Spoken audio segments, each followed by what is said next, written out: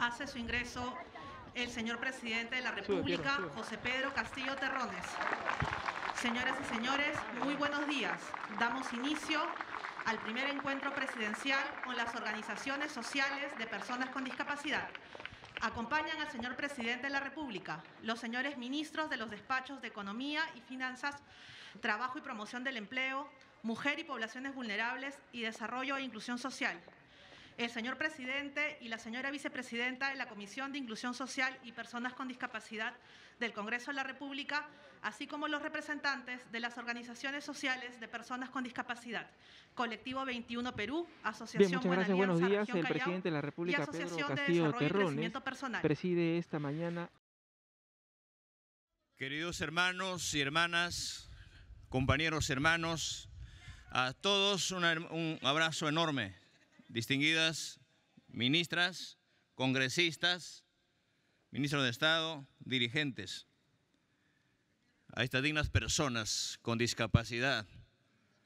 Yo también soy testigo que en mi aula, en mi comunidad, tengo niños, jóvenes con discapacidad. No son discapacitados. Los discapacitados están en otro sitio. Los que no son sensibles a la patria las personas tenemos que valorarla íntegramente. Y las personas merecen el respeto como personas. La limitación, la limitación física no es impedimento para ejercer una labor, una, una función laboral. No pueden ser discriminados. Y por eso necesito, señora ministra, un representante de estos hombres y mujeres acá directamente del despacho para el ministerio y para el CONADIS. Vamos a bajar a las regiones, vamos a bajar a las regiones, no solamente para reunirnos con ellos. Basta de discursos, basta de reuniones. Tienen que asumir una responsabilidad y tienen que estar ejerciendo la función y sus derechos que les compete. Por eso le hemos hecho llamar, no para la foto, no para esta reunión, para que ustedes tengan directamente el acceso al trabajo, al trato digno, al respeto no podemos estar, nuestro pueblo no puede estar más, tiempo frustrado, no puede estar dividido y menos puede estar discriminado. Vamos a estar en este momento y espero que también hoy que tenemos a un grupo de congresistas, hermanos maestros, asumamos el responsable, tomen el proyecto y tomen los derechos en el Congreso para que estos hermanos tengan todos los derechos que les compete. Asúmanlo ya. Hay que asumirlo eso. Queridos hermanos, compañeros, cuando nosotros enarbolamos una lucha por un derecho constitucional, que fue reclamar los derechos no solamente de los maestros en el 2017, sino un derecho constitucional que es la, educación de nuestro pueblo, como consecuencia de ello, tuvimos 11 maestros que hoy en día están en silla de ruedas, producto de una lucha. Y eso la tenemos que revertir. No se sientan menos, queridos hermanos, queridos hermanas y hermanos. No se sientan menos, no se sientan discriminados. Acá estamos asumiendo, primero, no ni siquiera como gobierno, sino como persona. Y las personas tenemos que ser tratados de igual a igual. Tenemos que ser tratados con dignidad. Queridos compañeros, queridos ministros, Ustedes saben muy bien de que las personas que no trabajan y asumen una función como servidor público, como funcionario, y no está al lado defendiendo los derechos primero de los trabajadores, no debe estar en esta función. Primero tenemos que asumir la responsabilidad. ¿De qué sirve, de qué sirve tener lleno el bolsillo si tienes vacío el corazón? ¿De qué sirve tener lleno el bolsillo si tienes vacío la cabeza? Por eso creemos importante, si hay que corregir el CONADIS, la corregiremos. Si hay que corregir algunas cosas, tenemos que corregirla.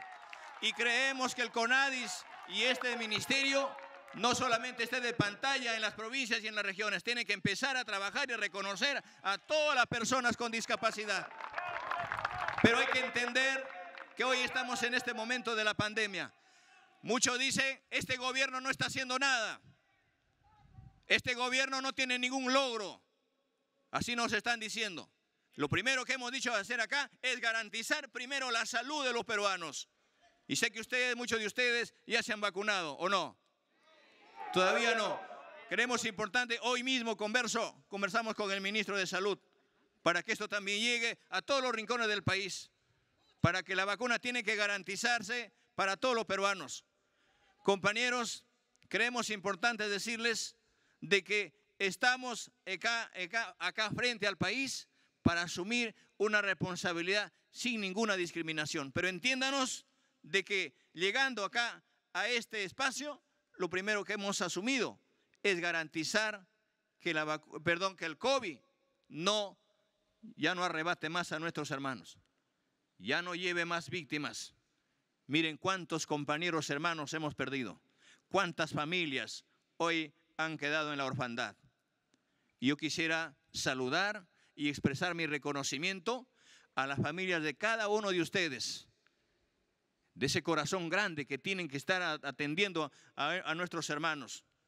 Así somos los hermanos, somos solidarios. Tenemos que entender de que un compañero y un hermano que tiene discapacidad no, no, es un problema, ah, no es un problema solamente de la persona, sino también involucra a la familia, involucra a la comunidad y también tiene que ser atendido, porque esas personas que atienden les atienden a ustedes también merecen ser atendidos. Y por eso hago un llamado a todos los compañeros, a todos los hermanos, para que agendemos de una vez por todas a una asamblea más amplia y que vengan los hermanos de las provincias y de las regiones acá, para poder conversar, para ver de qué manera nos ordenamos y tienen que tener el espacio suficiente para ver de qué manera, no solamente en la parte legal, sino ya en los espacios del gobierno, para que tengan la posibilidad de tener espacios laborales con dignidad.